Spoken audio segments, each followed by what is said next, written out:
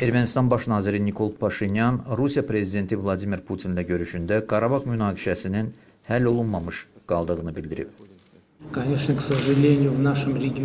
Təəssüf ki, bu gün bizim regionda vəziyyətin tam sabitliyindən danışmaq olmaz.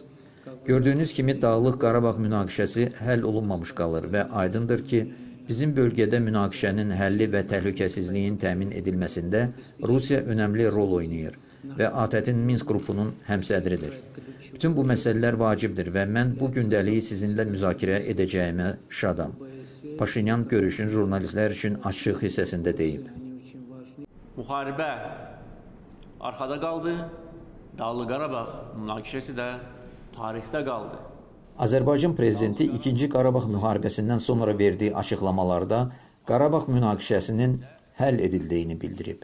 Nikol Paşinyan tez-tez keçirilən görüşlərin Rusiya-Ermənistan münasibətlərinin yüksək dinamikasına və strateji müttəfiqlik əlaqələrin önəmli olmasının qarşılıqlı anlaşmasına dəlalət etdiyini deyir. İndiki görüş Paşinyan və Putin arasında bu il sayca dördüncü görüşdür.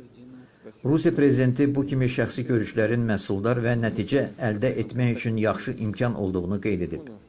поговорим formal və neformal obstanovka. Biz formal və qeyri-formal şəraitdə söhbət edərik. Birlikdə nahar edər və cari işləri müzakirə edib perspektivlərdən danışarıq. Bu yaxınlarda həmçinin MDB samiti gözlənilir. Mən də bununla bağlı saatlarımızı sizinlə tutuşturmaq istərdim, Putin deyib.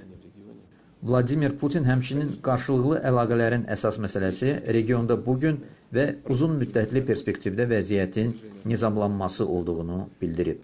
Ermənistan baş naziri Nikol Paşinyanın Moskvaya səfəri oktyabrın 12-sində başlayıb.